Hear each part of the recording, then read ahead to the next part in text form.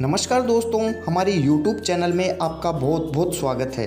दोस्तों, आपने खसखस खाने के फ़ायदों के बारे में सुना होगा, लेकिन आज मैं आपको खसखस के ऐसे फ़ायदे बताने वाला हूँ, जिन्हें जान करके आपकी आँखें फटी की फटी रह जाएगी। जो लोग बार बार थक जाते हैं, कमज़ोरी महसूस करते हैं, थकान महसूस करते हैं, कैल्शियम की कमी हो जाती है, कैल्शियम की कमी से हड्डियों में दर्द की प्रॉब्लम हो जाती है, कमज़ोरी आ जाती है हाथ पैर जोड़ों में दर्द होता है। जिन लोगों की लंबाई नहीं पड़ पाती है ना, जिन लोगों का डाइजेशन सिस्टम ठीक से काम नहीं कर पाता है। उन लोगों के लिए तो यह एक रामबाण औषधि की तरह काम करती है। बस आपको इसे तैयार करने का और इसे लेने का सही सही तरीका पता होना चाहिए। बस दो मिनट से भी काफ़ी छोटी वीडियो रहने वाली है तो प्लीज़ आप इस वीडियो को अंत तक ज़रूर देखें। अगर दोस्तों आपको यह जानकारी ज़रा सी भी पसंद आए तो प्लीज़ आप इस वीडियो को लाइक और शेयर कर दीजिएगा, क्योंकि आपके एक लाइक से मेरा मोटिवेशन अप होता है और मेरा मन करता है कि मैं आपके लिए नई नई जानकारी हमेशा लाता रहूँ। दोस्तों, सबसे पहले जानते हैं खसखस खाने के बेमिसाल फ़ायदों के बारे में। उसके बाद में जानेंगे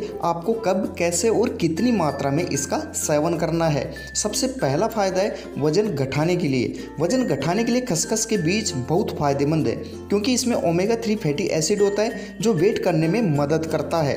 खसखस में पाए जाने वाला ओपियम एल्कलाइज शरीर के सभी प्रकार के दर्द को दूर करता है। जिन लोगों के हाथ, पैर, जोड़ों में, कमर में, पीठ में दर्द की प्रॉब्लम रहती है, उन लोगों को हमेशा खसखस का सेवन करना चाहिए। इसे लंबे समय तक लेने से श्वास संबंधी समस्याओं से भी छुटकारा मिलता है।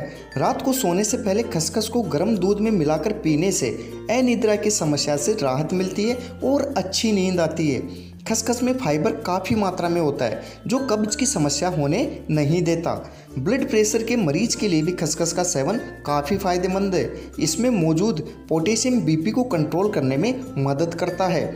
इसे दूध के साथ लेने से शरीर में खून की कमी दूर होती है और एनीमिया से भी बचा जा सकता है। अब जानते हैं आपको कब और किस तरीके से इसका सेवन करना है। एक चम्मच खसखस की रात को सोते समय पानी में भिगो दे।